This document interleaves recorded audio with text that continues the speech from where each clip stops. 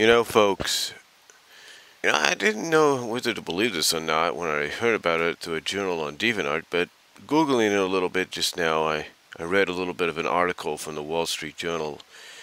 And apparently, uh, what we were excited about, if you were a Hasbro fan, you know, My Little Pony, Transformers, G.I. Joe, what have you, well, apparently the hub is not going to be around much longer. Now, it doesn't mean a lot of the programming that the hub has is going to go away. No. It just means basically a lot of what the hub does is going to change. Let's put it this way. What's going to happen is, according to what the Wall Street Journal is saying, and I'm sure the sources are going to report the same thing, and I'll provide as many links as I have to.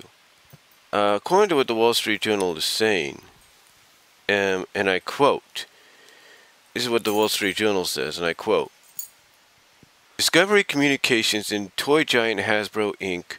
are ending the equal partnership in the hub, a cable network that had a cable network that hoped to become a force in children's television, but made little headway against more established competitors such as Nickelodeon and the Disney Channel.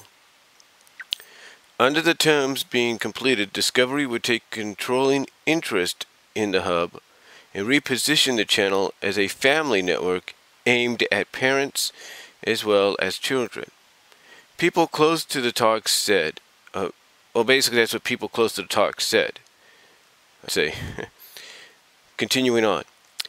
Hasbro, Hasbro will retain, Hasbro will retain a large stake in the service and controls six hours of daytime programming on the network from 9 a.m. to 3 p.m. The makeover could take place as early as the fourth quarter. The hub is expected to be renamed Discovery Family. Launched in 2010 with a $300 investment from Hasbro for half of the network. 300? Really? The hub was designed to be an outlet for some of Hasbro's best known toy brands, including G.I. Joe, Transformers, and My Little Pony. But it never managed to gain traction against Viacom's Nickelodeon and Walt Disney Company's Disney Channel. Nickelodeon and Disney Channel both averaged well over 1 million viewers a day, while the hub barely cracks 100,000 viewers according to Nielsen. The channel has faced some significant headwinds. Children have shifted a growing proportion of the view of their television viewing to online services. Moreover, tougher advertising restrictions have forced many fast food and snack brands to steer clear of children programming, another reason for the shift in strategy. Andrew Warren, Discovery's chief financial officer, acknowledged at a Bank of America Merrill Lynch conference Tuesday that the children's television market has proved to be very competitive. Moreover, since the hub's launch, streaming services from companies such as Netflix and Amazon have moved aggressively into children's television. These developments, Mr. Warren said, prompted the hub to refocus its programming strategy on the entire family quote, there are fewer and fewer channels out there are fewer and fewer channels out there where children and parents can watch together. Our objective and our programming imperative is to continue to think about daytime for children and nighttime for family. Mr. Warren said there was, quote, hold on, just moving the mic there. Uh, Mr. Warren said there was quote quote unquote white space in the media landscape for this target audience, adding that Disney's ABC Family is a wonderful channel, but it's really wonderful. Oh, hold on. Okay, let me start over. It says Mr. Warren said there was quote unquote white space in the media landscape for this target audience adding that Disney's ABC Family is a wonderful channel, but it's really for young teenage girls. The hub was a source of tension between Discovery and Hasbro. Hub executives often clashed with Hasbro over pro- programming strategy. Hasbro regarded the partnership with Discovery as a way to drive toy sales, and that often led the toy maker to balk at supporting shows that had good ratings but weren't moving product, current and former Hub executives said. A, Hasbro sport. Uh, sorry, it's early. I apologize. A Hasbro sp- spokeswoman said, quote, Discovery and Hasbro have enjoyed a successful relationship, and will look and we look forward to continuing to work together to bring award-winning programming to children and families. Unquote. The toy maker has only recently started to turn a small profit from the venture. At the end of last year, its stake was valued at 321 million. So I'm guessing that 300 that they um, invested is actually 300 million. Okay. Well, quote unquote, it's not their core expertise, said Eric Handler, a toy analyst at MKM Partners. The hub had been overseen by Margaret Loetschen, a veteran children's TV programmer who announced her plans to resign in June. The new channel will be placed in a business unit overseen by Henry Scheffel, group president of many of Discovery's newest and fast-growing channels, including Investigation, Investigation Discovery, Destination America, America's Heroes channels, American Heroes channel, and Discovery Life. Hub's rebranding is the latest example of Discovery's efforts to overhaul underperforming channels. In the past, it had turned Discovery Health into OWN, the Oprah Winfrey Network, HD Theater into Velocity, which is aimed at men who enjoy life in the fast lane, Planet Green into Destination America, a channel that, among other things, celebrates fast food and quirky jobs. Ups. With 75 million homes, the hub has a broad reach. However, pay TV distributors are starting to push back at having to carry such low-rated services. Discovery will need to increase the audience for the revamped service or risk having it dropped when its contracts come up for renewal. While Hasbro's presence and operational role at the network are expected to decline, it may seek other outlets for its content. It has had on again, off again talks with Time Warner Inc.'s Cartoon Network about being an outlet for the toy manufacturer's show. Okay, so basically what that means, um, first of all, for any of you that might be a My Little Pony fan, it basically means that show will not go anywhere. That show will remain, but as a part of Discovery family. I mean, if it says here in fine print right at the beginning of the article, it says right here in fine print at the beginning of the article, it says the same thing. It says the same thing as it said in the article. It says Hasbro will retain Hasbro will retain a large stake in the service and control and control well my iPod just died there thanks iPod well basically says it will control basically a large chunk of the programming block from 9 a.m. to 3 p.m. and that My Little Pony Friendship and Magic is one of the highest rated shows if not one of the more popular shows so basically that means that when this change occurs My Little Pony will still be on the air air on the net on the soon to be renamed Discovery Family, but it'll only be during the day. And you know what? Honestly, I think we probably all saw this coming when, when we all think about it. I mean, at first, when the hub was announced, that it was going to be an outlet, that it was going to be a place where we could finally see, once again on television, shows like Jem and Transformers Generation 1 and G.I. Joe Real American Hero, the original G.I. Joe and some other shows like like Tiny Toons and Animaniacs when those came around. You know, it was like, hey, great, we're finally getting these shows back on the air, and hey, they're on a major network, they're on a major cable channel, major cable network. We were all happy. We were all ecstatic. I mean, I remember doing a video about it, which you can find here on my channel. But as the years went on, I think we've slowly started to notice that the that this that the hub network was slowly going away from what made it what it was.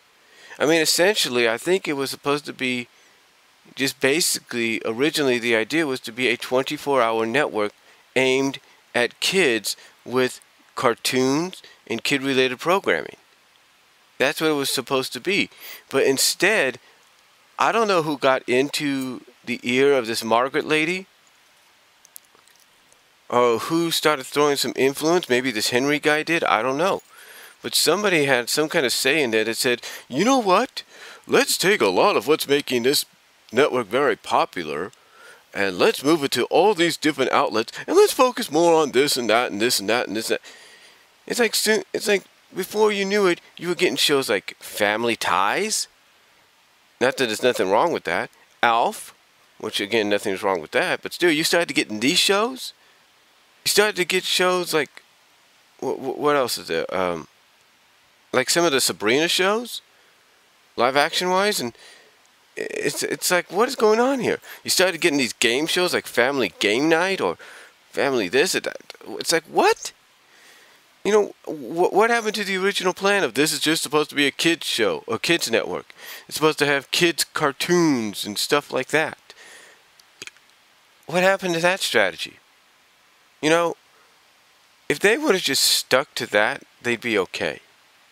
I mean, if I, if I mean, if I was Hasbro, and I put some, and I put about 300, probably not 300, but maybe 300 million, if not more so, into this company, into this investment, into this partnership, I should have at least put something in there in the fine print as well, saying, hey, look, no matter what, you cannot add any programming that's not Hasbro related.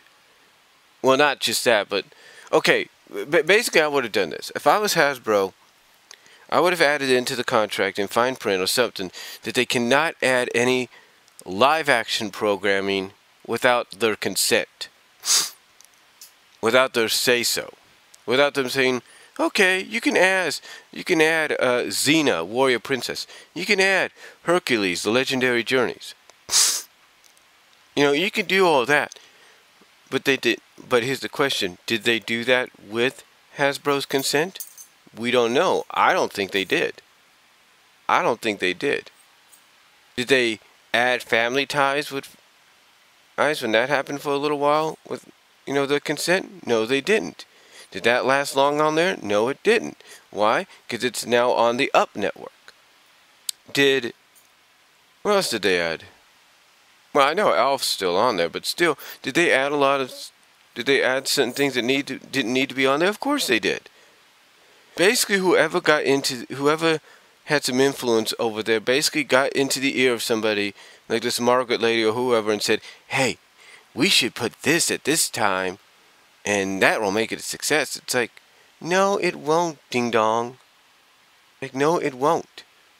I mean, I mean, in all honesty, you were doing good with what you had. I mean, let me let me give you guys let me give you guys a little let me let, let me let me give you people listening a little bit of an example. You have, like I mentioned earlier, and like they mentioned in that article. Well, I was trying to say that what they mentioned in the fine print of that Wall Street Journal article on it. My Little Pony Friendship is Ma Friendship is Magic is the highest is the highest grossing show they have right now on that network. Probably the most popular and financially the most successful. That's what it is. That's what it is.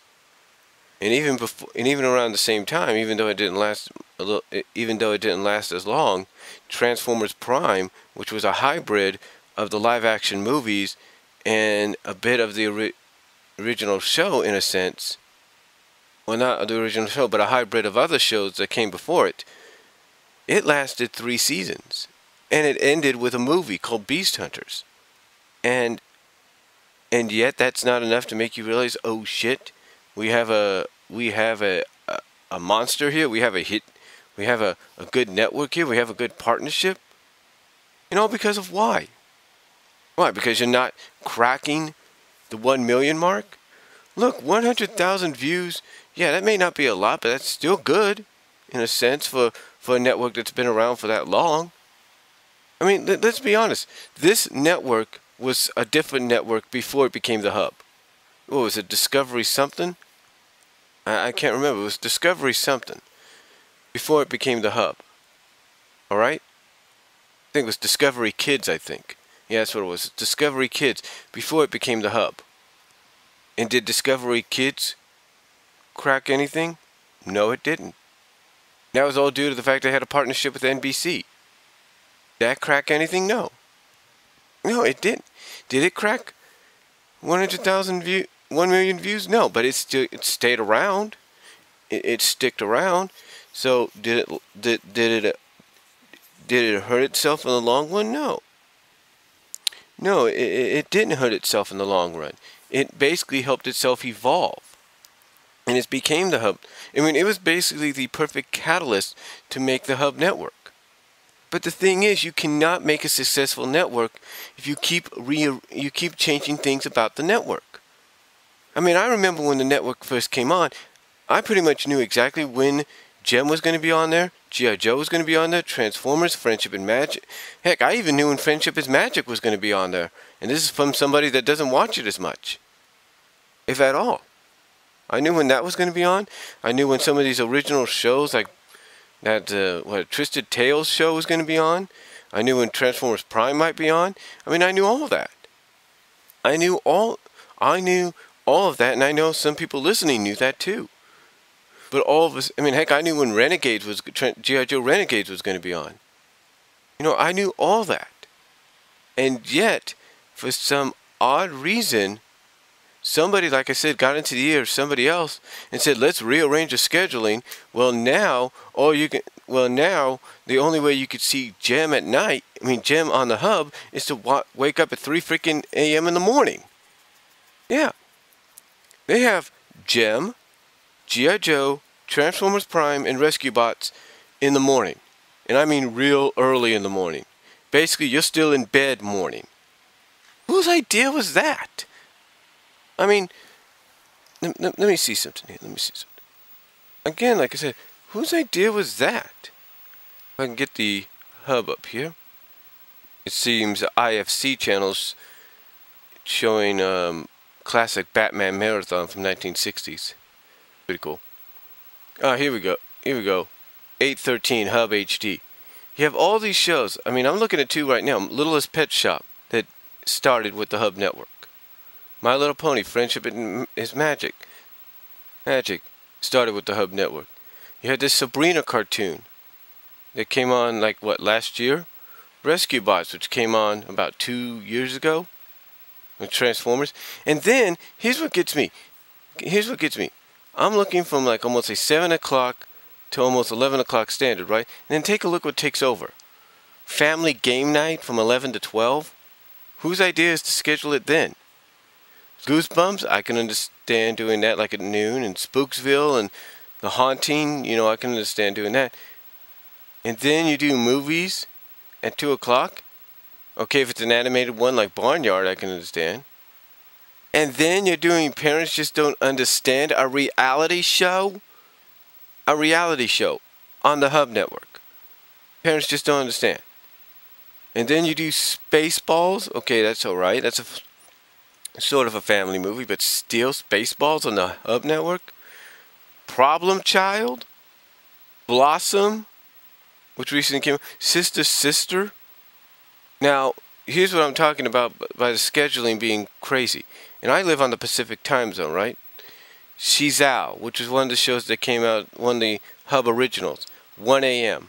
Aquabat Super Show, which I still think is a unnecessary show, stupid in a sense. That's just my opinion. 130. Fraggle, Fraggle Rock, the original 1980s Muppet Show. 2 a.m. And that was one of the uh, founding shows on the network. Adventures of Chuck and Friends, which is a educational like show for kids. Educational like show for kids. 2:30 a.m. Care Bears, Adventures in Wonderland. 3 a.m. Strawberry Shortcakes. And these are shows that were created specifically for the hub. Or had a hub, yeah, specifically for the hub. Strawberry Shortcakes. Eggs Berry Adventures, whatever it is. 3.30 a.m. Tiny Toon Adventures, which recently came out, or recently joined the network about a year or two ago. 4 a.m. and 4.30 a.m. Pound Puppies, which was one of the Hub originals. 5 a.m. and 5.30. And then what could be more of reasonable timing, depending on how you look at it, Secret Millionaires, 6 a.m. 6.30 a.m. Transformers Rescue Bots. And you get back to what it was before. The, the thing is, you take... The, thing is, you take a look at the schedule and you're like, you're probably thinking, what is with these people? What is the problem doing this? What is with the schedule? And believe me, I wish I knew. I mean, take a look at this. Take a look at this. You want to know when the children block is? Take a look at this. For the weekday standards, like Monday through Friday, G.I. Joe Renegades at midnight. Kaijudo, Clash of whatever, Duel Masters, 12.30. SheZow, 1 a.m. Acrobats, 1.30. Fraggle 2. Chuck and Friends, 2.30. Jem, 3 a.m. G.I. Joe, Real American Hero, the original G.I. Joe, G1, 3.30 a.m. Transformers Prime, 4 a.m. Rescue Bots, 4.30. Superhero Squad Show, 5 a.m. Dan Versus, 5.30. Animaniacs, I guess you could probably consider that more logical since some kids do get up and get up and want to watch cartoons before they go to school. Animaniacs, 6 a.m. Tiny Toons, 6.30. Then family game night at 7 a.m. in the morning? Seriously? Then Secret Millionaires at 8, Strawberry at 8.30, Strawberry at 9, My Little Pony, My Little Pony, My Little Pony, Little Pet Shop, Little Pet Shop, Pound Puppies, Pound Puppies, Sabrina, Little Pet Shop, Little Pet, My, My Little Pony, My Little Pony, Kid President, and then a movie Good Boy that you, you, you kind of see what I'm saying, folks. You kind of see what I'm saying. It's like, okay, some of them look alright. Like, they could be in a, a good position and all that, like an understanding position. But not really. I mean, honestly, folks. I mean, honestly, folks. When, when, you when you look at that scheduling that I just mentioned, I was, I was just looking at it in real time. What does that tell you? It tells you, obviously, whoever was put in charge of the scheduling, whoever was in the ear of this Margaret lady or whoever does the scheduling for the Hub Network, doesn't know what they're doing. I mean, seriously, you're going to start a children's block at midnight? On a night before they have to go to school? Are you crazy? Here's what I would do. Here's what I would do. Instead of giving Hasbro 9 to 3, because pretty much a lot of kids are in school at that time, so I don't know whose idea that is. What, because it's daytime? Okay, fine. Here's what I would do instead. I would give Hasbro 3 to 9, and I would use that 9 to 3, and then whatever after 9 o'clock for family or for or adults, or whatever you want to call it. I would use basically, I mean, this is what I would do. You want to give them that programming block? 3 to 9 is better. Why? Here's why. 9 a.m., 9 10, 11, 12, 1, 2. You essentially just give them six hours of, of television. That's it. You'd be doing the same thing if you gave them 3 to 9. 3, 4, 5, 6, 7, 8. 3 to 9 makes more sense. And, oh, by the way, the kids are home from school at that time if you're trying to go back to that method of thinking. Let me, let me remind you of something, too. You know that My Little Pony show you guys, Hasbro, ha- the Hub has? Guess what? There's a lot of people my age. There's a lot of people that are preteens, teenagers. There's a lot of people that are going into that age range, like my soon to be 11 year old nephew. They're into that stuff. All right? And they want to see it at an appropriate time, they could see it. And what about Saturdays and Sundays? What are you going to do? Just give them six hours in the morning that's it? How's that going to work? Oh, 9 a.m. to 3. Okay, fine. Uh, don't you realize maybe they go out on Saturdays and Sundays? They got church on Sundays? Does that not ring a bell?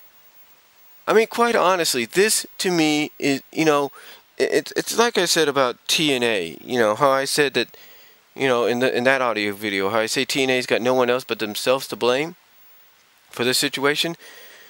I'll say this: whoever gave the okay to do the scheduling the way they've done it, and to add the programs they have that have been that have come and gone and is still there, they don't know what they're doing. Discovery, in a sense, doesn't know what they're doing.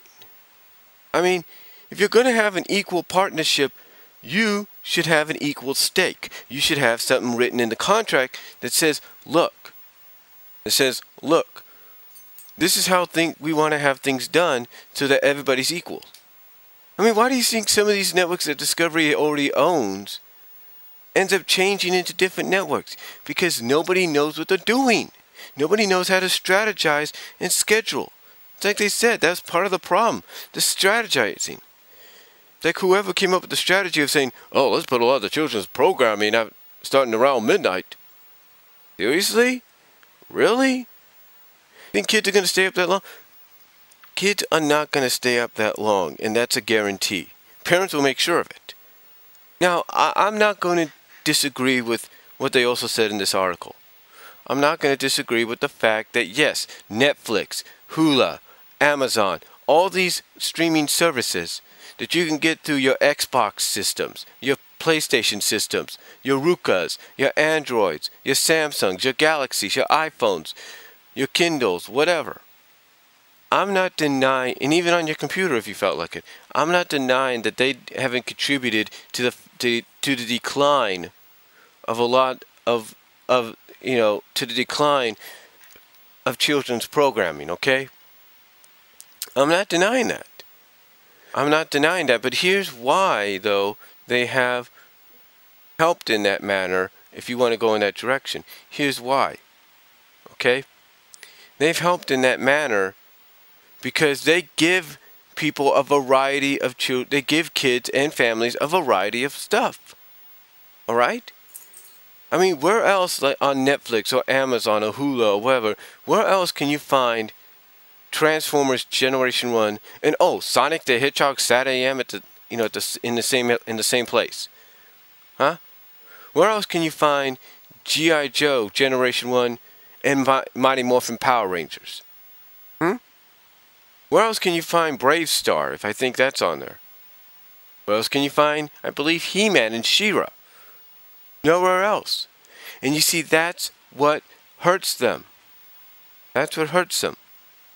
Because they're not realizing, you know what? If we're going to succeed and sort of be like a contemporary, modern, and retro-like network for kids with animated shows that are new and as well as from the past. Hmm, what can we add to make that happen? Uh, duh, let's see. Let's see. Uh, let's see. You add shows that people like myself that have grown up on know about, as well as you add along with what you're trying to introduce to the new kids, to the new generation. That's what you do. I mean, wouldn't it be something? Here's an idea. Here's an idea. Wouldn't it be something? Wouldn't it be something to at least, oh, I don't know, let's say, wouldn't it be something to, oh, I don't know, let's say, uh, show My Little Pony Generation 1, the 1980 show, around the same block, back to back with Friendship and Magic. Friendship is Magic. Huh? Wouldn't that be the smart thing to do? Because that way, not only are you introducing this new show, but you're also endorsing this new show by saying, here, we have the original we want to show you first. So you guys can get an idea of where it came from. Hello? Smart strategy right there. You know, smart strategy there. and as well as oh, I don't know, oh, let's air maybe some of the let's air as part of our new movie theater thing that we also introduced because I think that was at the beginning too when Hub started. Uh, let's air My Little Pony the movie. Jeez, what a smart thing to do there.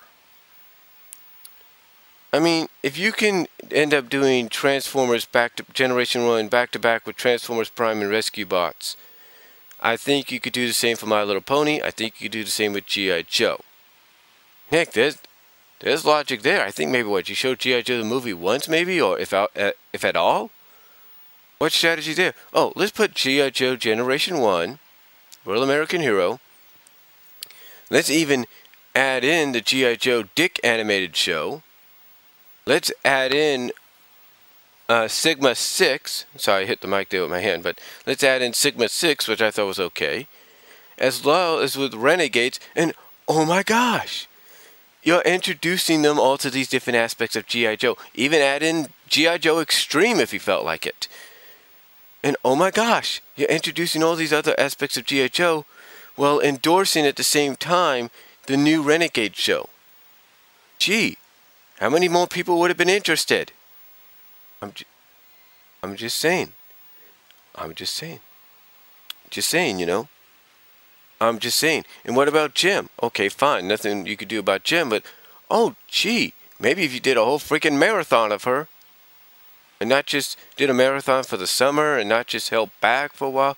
In fact, put her at a time where everybody could be introduced to her.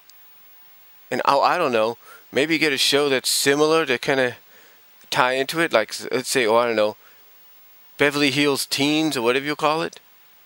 I mean, I'm just saying. Just saying, folks. And oh, wait a minute. You have other shows. You have like Inhumanoids. You have like Bigfoot. You have Visionaries. Oh my gosh! Even though they were 13 episodes each, you could have aired those. But did you know? You didn't. And look, I'm not trying to look. I'm not trying. I'm not trying to totally put the blame on Hasbro and Discovery and say it's entirely their fault. All right. I'm not really trying to put the blame on them, but you know, they needed. They. Uh, I mean, honestly, they needed to strategize better. And they need to schedule better. And they need to get the right people in the right positions and not listen to certain people saying, oh, well, this is a better way to schedule and, you know, certain shows and this is the better time slot to put them on. Because guess what? It's not. Just because people have DVRs and all that doesn't mean it's the best time. You know, best time frame and all right, all that, all right? It's not. Because let me tell you this. I know from experience that if you have a DVR, if not one DVR, or several, Sometimes people like to use those D several DVRs or that one DVR to record their programming. And sometimes they'll record they're going to have two shows that are going to come on at the same time that they're going to want to watch and record.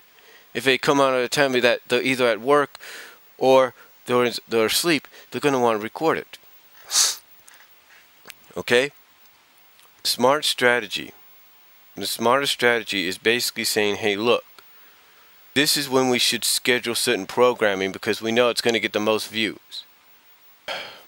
You know, I'm just saying, folks. You know, it it, you know, it's it to me. I'm not totally surprised. This is. I mean, I'm a little surprised, but not when I think about it. I shouldn't really be surprised because of the fact that when you take a look at how they schedule certain shows in the later years, in the later years, and as odd as that is to say about the hub, that it shouldn't really surprise me that something like this has come about. I don't think it should surprise anybody else.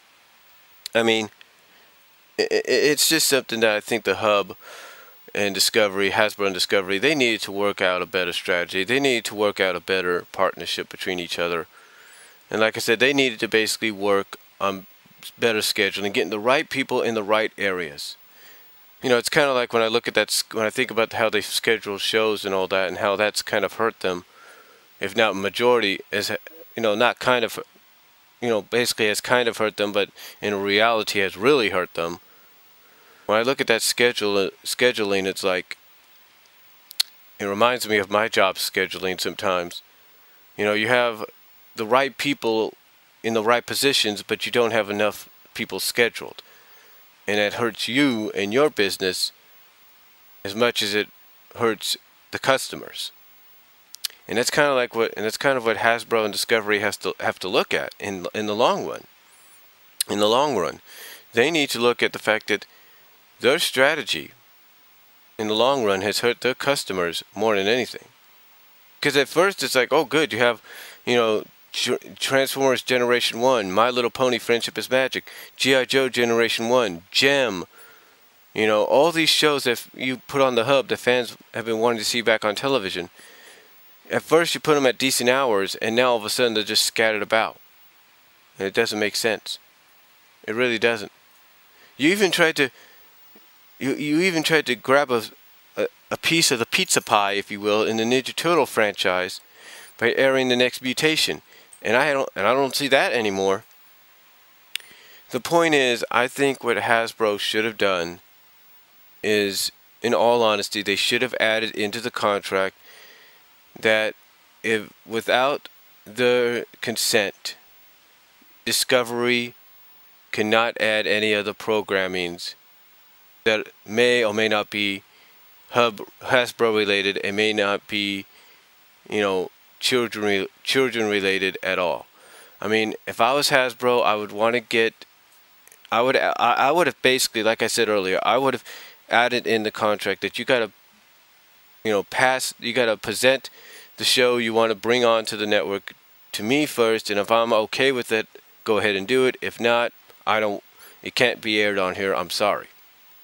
Because if I have a massive stake in this, in this claim, you will, if I have a massive stake in this claim, then I should have some say. And that's the truth. If someone came to me and let's say I was trying to create a new network that combined several different things, or let's say I wanted to create a network that was a retro-like network, that its main focus is to air retro animation from the 70s, the 80s, and even the 90s majority, well, mainly 70s and 80s. Let's put it that way. That a majority of it is 70s and 80s cartoons only. And someone came to me and they said, "Oh, well, we have this show from the 1990s or the 2000s that we think would be great on this network." You know what I would say to them? I would say no. I'd say this main this network's main focus is retro. This main this network's main focus is cartoons from the 70s and the 80s that's not coming on here. And, and that would be the honest truth. That would be the honest truth. You know, if, let's say, you know, let's say some of these online video networks or video services wanted to create their own cable channels in the future. All right? Let's say that was to happen. Let's say Blip said, okay, we're going to create the Blip cable network.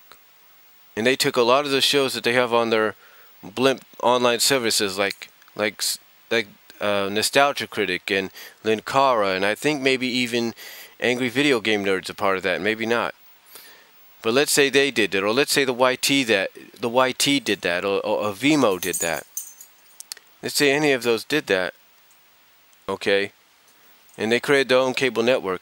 If I was them, and let's say somebody wanted to present a show that was, you know, that didn't fit my criteria of what was going to be on that network or be on that cable network, I would say no. You know, if someone wanted to present to me, oh, well, we have the retro and classic, um, let's see, I'm trying to think. Oh, we have the uh, classic Press Your Luck show. We have the classic episodes of Press Your Luck do you like that on your uh, Blip network or on your Blip cable network or your Vimeo cable network or your you know YT cable network? You know what I would say? I'd say no because it doesn't fit the criteria that this is a network, this is a cable network for original programming that's come off that's been on the web and now is going to get national cable exposure. That would be the strategy to that. Same as what I said about a retro animation network, or maybe even a retro live action network. You can only air shows in the 70s, 80s on those networks. And that's it.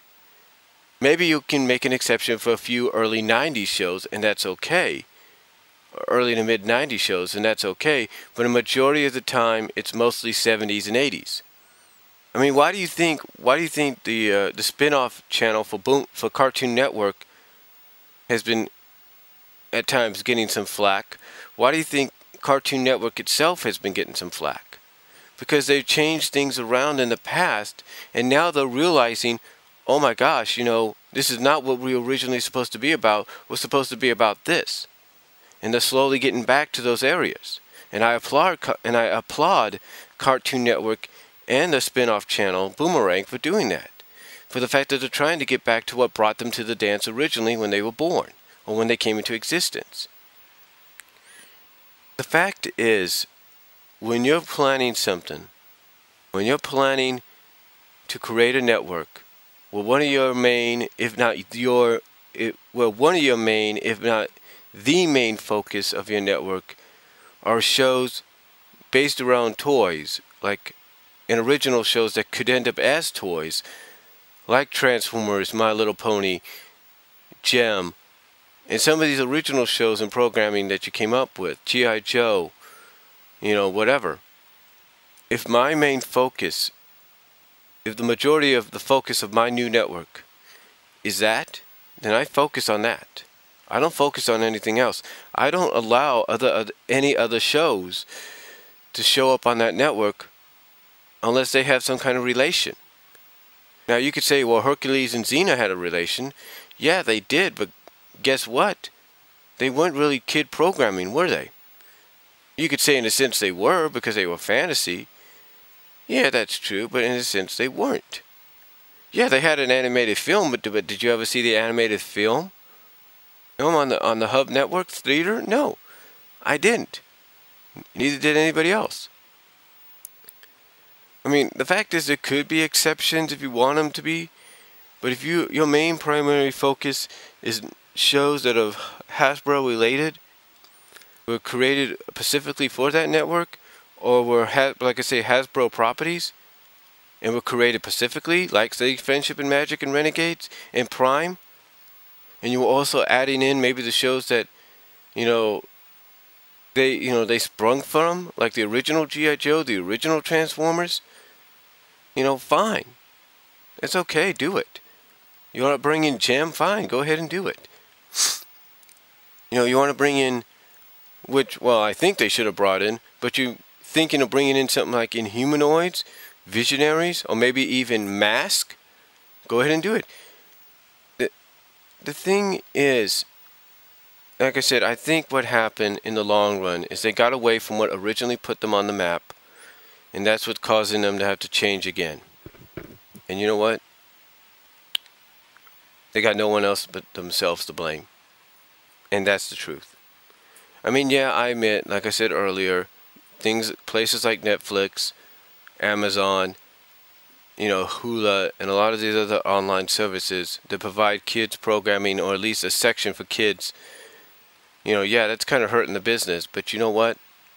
Maybe it's time a lot of these cable networks, like the Hub, took a lesson from Netflix and, and Amazon and Hulu and said, you know what? We need to go in that direction. We need to provide a kids only network, and that's it. With kids animated programming, and that's it. And if Hasbro is looking for another partner, good luck to them. You want to try Cartoon Network? Go for it. All po more power to you. But if I'm you, Hasbro, here's what I do. I think what Hasbro should do is invest their money in creating an all-new original cable channel. That's what they should do. They should create the Hasbro network. Then that way they can put all the shows that they want on that network they can, you know, add all new original programming. They can buy the rights or partner up, partner up and license the rights to air other programming on there. And I guarantee you that may help in the long run because at least they will have their own Pacific network. They won't have to worry about and you know and what they would need to do is also get the right people in there and once they do that hopefully I think and again I think that's a strategy and a direction they should go in hopefully they won't have nothing else to worry about because again having your own channel your own network with no strings whatsoever be worth it in the long run. You may think that's impossible. Well, guess what? It's not. Nothing's impossible. Believe me. So, but that's just my take on the whole situation with Hub, um, the Hub network. You know, you know, can't being canceled and replaced by Discovery Family. But who knows? Maybe maybe that won't happen. Maybe things will change and maybe something will work out. But that's that's my take on it. So I was a long, long one. I know it was a bit of a rant and a you know opinionated thing, but I just that's what I have to say about it, folks. So take your time in listening to this. Let me know what you guys think, and I'll talk to y'all later.